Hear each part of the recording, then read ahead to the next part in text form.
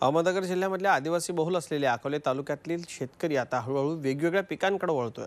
भात आणि नाचणीच्या लागवडीसाठी हा तालुका प्रसिद्ध असला तरी इथला शेतकरी भाजीपाला पिकाची लागवड करू लागलाय. समशेरपूर गावामधील युसुफ शेख या शेतकऱ्यानं तेवीस गुंठ्यात सात टन भोपळ्याचं उत्पन्न घेतलंय.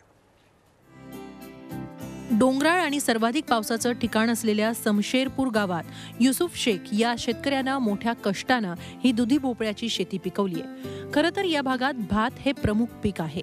मात्र शेख यांनी आपल्या शेतात दुधी भोपळ्याची यशस्वी शेती केली आहे. लागवड करण्यापूर्वी त्यांनी शेतीची चांगल्या प्रकारे मशागत करून घेतली तसंच ठिबकची व्यवस्था केली. साधारण एप्रिल महिन्यात शेख यांनी दुधी भोपळ्याच्या वरदवाणाची लागवड केली. साधारणपणे अडीच महिन्यामध्ये म्हणजे पंधरा एप्रिलला लागवड केल्याच्यानंतर एक जुलैला याचा पहिला तोडा झाला. आत्तापर्यंत याच्यासाठी साधारणपणे मी औषधाचा खर्च याला खूपच कमी आहे. फक्त स्ट्रक्चर जे आपण बाग उभा करतो लाकडांवर याचा खर्च जास्त प्रमाणात याला फक्त लाकडं बांबू आणि तार यालाच खर्च आलेला आहे. शेख यांनी नैसर्गिक पद्धतीनं दुधी भोपळ्याचं पीक घेण्यावर भर दिला. भोपळ्यावर पडणाऱ्या किडीवर त्यांनी कामगंध सापळ्यांचा वापर केला. त्यामुळे त्यांना भरघोस उत्पादन मिळालं.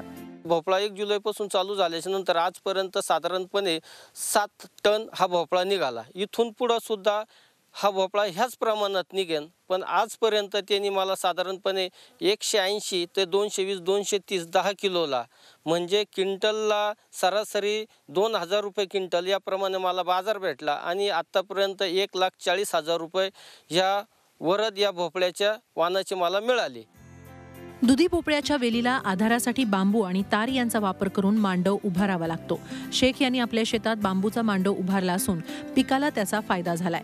भोपळ्यात आंतरपीक म्हणून शेख यांनी झेंडूची लागवड केली आहे तसंच त्यांनी सीताफळ आणि वालवडचीही लागवड केली असून त्यापासून त्यांना उत्पन्न मिळालंय. शेतात विविध पिकांची लागवड केल्यास शेती फायदेशीर होण्यास मदत होते हे युसुफ शेख यांनी दाखवून दिलंय. त्यांचा आदर्श इतर शेतकऱ्यांनी घेण्याची आवश्यकता आहे.